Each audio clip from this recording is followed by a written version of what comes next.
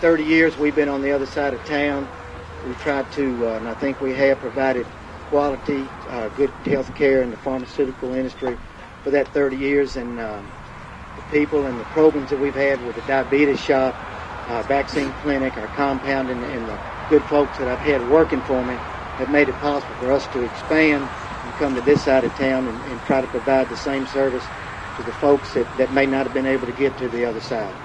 Um, we uh, are going to do the same thing that we did at the other store. We're going to try to provide the kind of service and the kind of hometown uh, personalized things that, that you can't get much these days, and we're going to do our best to repeat it over here the same way we do on the other side of town. Uh, we're excited about it. We're looking forward to it, uh, and we appreciate the opportunity. Thank you very much.